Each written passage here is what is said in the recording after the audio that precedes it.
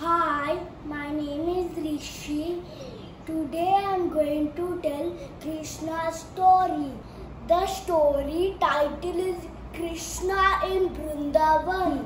One day Krishna was playing with his friends and one um, uh, fruit seller was going. Krishna wanted the tasty fruits. So he has to pay her with grains. He went in and got some grains.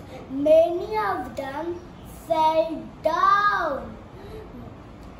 But the fruit seller loved Krishna and gave more fruits. When the fruit seller returned home, her basket was filled of pearls and diamonds. The next story title is Agasura the Deadly Serpent. One day, Krishna was playing with his friends um, and uh, Agasura, the demon, lurking around to take a revenge on Krishna. Agasura finally saw Krishna and his friends. His friends thought it was a den and went in, but Krishna knows that it was a demon. So he didn't even go in and stopped the, um, Agasura's mouth. And he make, became bigger and bigger. Fi- finally, soon the demon, demon Agasura uh, died, and Krishna and his friends came out and played happily. The next story title is Putana the Demoness. There was going celebrations in Gokul because Krishna has born.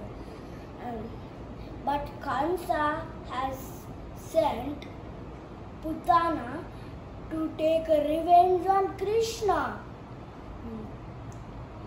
Putana went a beautiful form in a girl. And uh, she found Krishna and told her, Krishna's mother, "Uh, Krishna is hungry, I will feed him and Krishna's mother gave Krishna to Putana. And Putana uh, mixed deadly poison in uh, Krishna's milk. And Krishna uh, squeezed um, Putana's breath out and Putana screamed and uh, Krishna's mother came and looked. She saw Krishna uh, playing on Putana's body uh, happily. Krishna squeezed Putana's breath out. That's why he, he became blue he became blue that's a um, believe. Thank you